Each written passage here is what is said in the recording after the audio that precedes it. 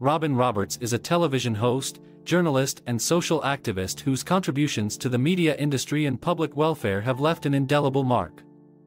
Robin Roberts has gained widespread fame for her career in television, especially hosting ABC's Good Morning America. Not only is she a talented television host, but she is also an inspirational person who has been able to overcome many of life's challenges, including battling serious illnesses. Robin Roberts began her career in journalism back in the early 1980s, working as a correspondent and anchor for various regional television stations in the United States. Her professionalism and energy quickly caught the attention of major television networks, and in 1990 Robin became part of the ABC News team.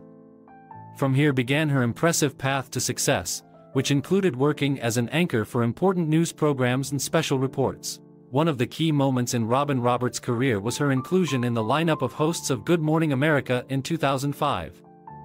This morning show became not just a job for her, but a platform where she was able to demonstrate not only her journalistic skills, but also her human resilience and strength.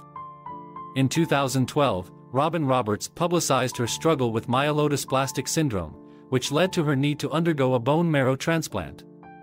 Her openness and bravery in fighting the disease has inspired millions of people around the world.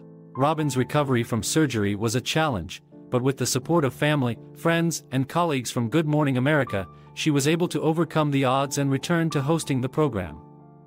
Her return was a triumphant moment not only for herself, but also for the audience who followed every step of her struggle.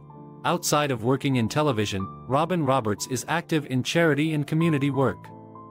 She supports many charitable organizations working to fight cancer, support women and children, and education.